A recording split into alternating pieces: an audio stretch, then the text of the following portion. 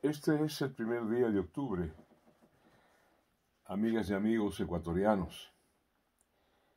En siete días más, en una semana, se cierran las inscripciones para candidaturas a la presidencia de la República. También para llenar las listas de los próximos representantes del pueblo ecuatoriano en el Parlamento.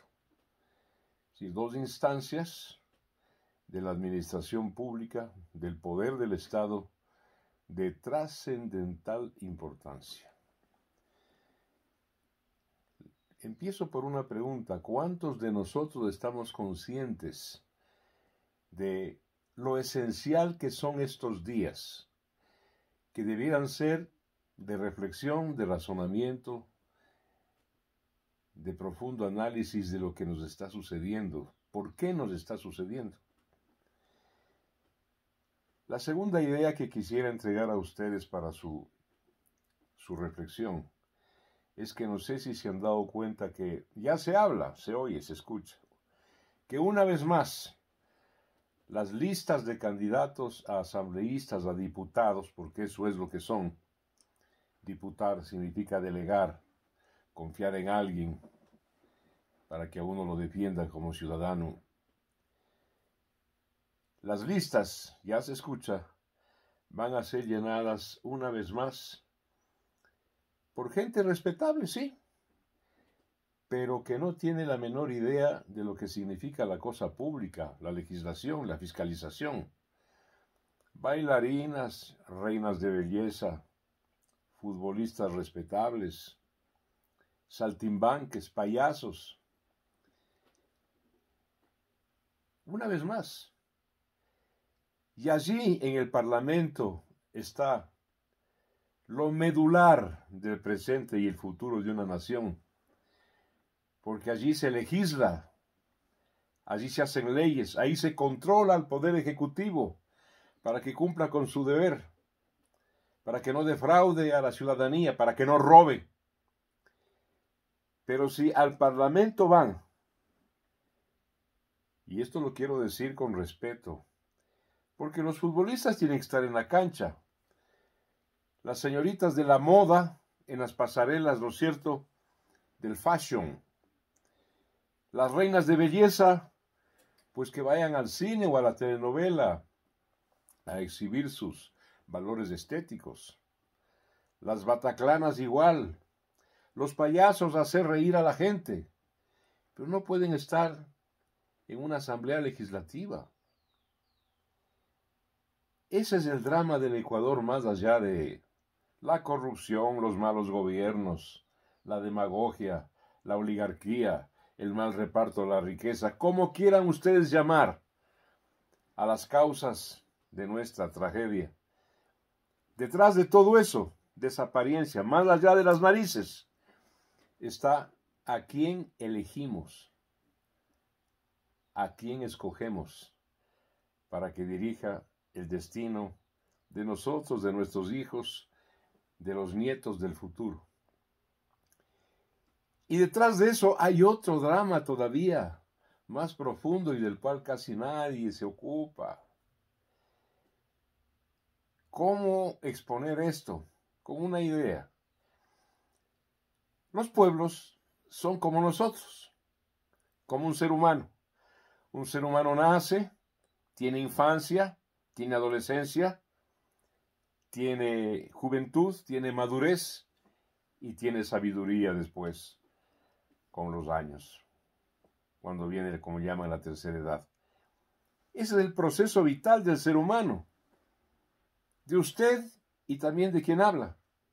Los pueblos no son diferentes, es eso mismo, sino que multiplicado por decenas, por cientos, por miles, por millones. Es el mismo fenómeno de proceso vital, sino que colectivo. Si lo tenemos claro, paso yo a una pregunta. Usted, señora, señor, padres de familia que tienen hijos, ¿confiarían a un infante que tiene cinco años? ¿Le otorgarían toda la libertad, la autonomía, la independencia para que se mueva como él quiera? ¿Lo harían? Lo perderían para siempre, pues. Para eso está la educación, para eso está la formación, para eso está la vigilancia, para eso está el control diario sobre el crecimiento de esa criatura. No es autónoma todavía. ¿Le entregarían ustedes independencia y soltura de movimientos a un adolescente de 12, 13, 14 años? Como dicen, que entra en la conocida edad del burro. No, pues, no tiene sentido. Hay que seguir vigilando, monitoreando de cerca el proceso de crecimiento de ese ser humano. Lo mismo acontece con los pueblos.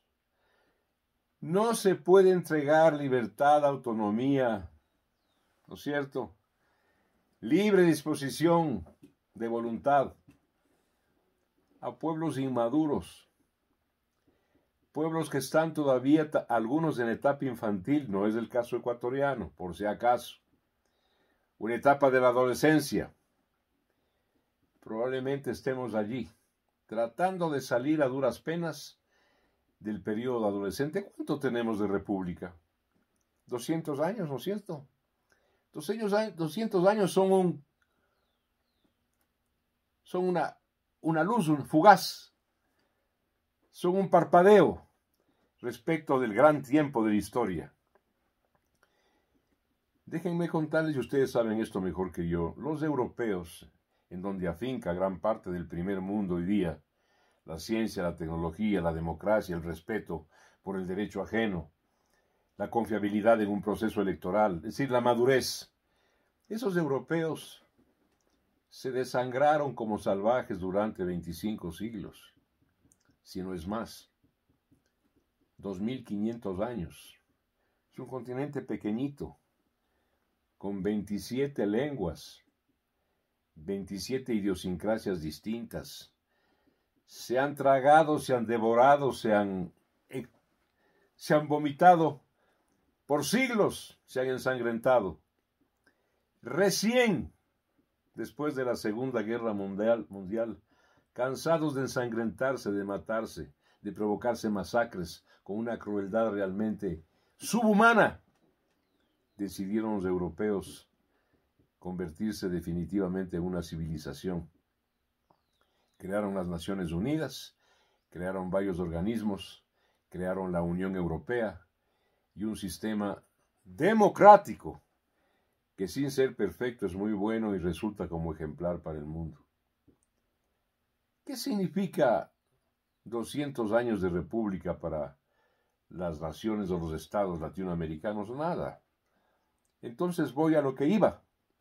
Estamos todavía en una fase de adolescencia, en donde los controles, las riendas tienen todavía que ser cortas, las supervisiones, los monitoreos, el periodo de formación. Resumo esto en una frase corta. La democracia es un gran valor, pero la democracia tiene grados, ¿sí? tiene escalones. No se puede eh, entregar el 100% de democracia a pueblos infantiles, pueblos adolescentes, pueblos juveniles, pueblos inmaduros.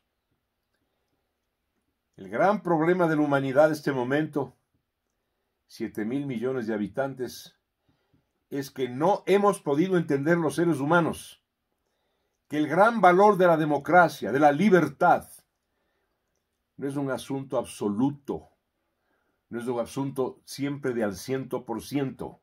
Como dije hace un momento, tiene grados, tiene escalones.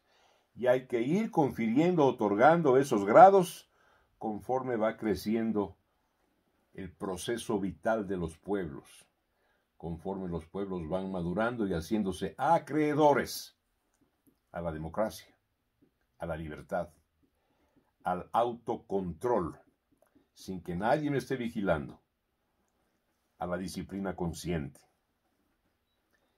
Una vez más, volviendo a la idea de principio, tendremos en la presidencia de la República tal vez a los mismos que nos han desastrado en los últimos 14 años, tal vez a uno o a una cualquiera y tal vez por suerte a alguien que lo merezca y que valga la pena de escogerlo y de votar por él. Amigas y amigos, muchísimas gracias por haberme permitido esta reflexión, que yo creo que es una reflexión de fondo, que está más allá de lo que vemos en la superficie, más allá de las apariencias y más allá de las narices. Un abrazo para todos. Buen fin de semana. Hasta el lunes.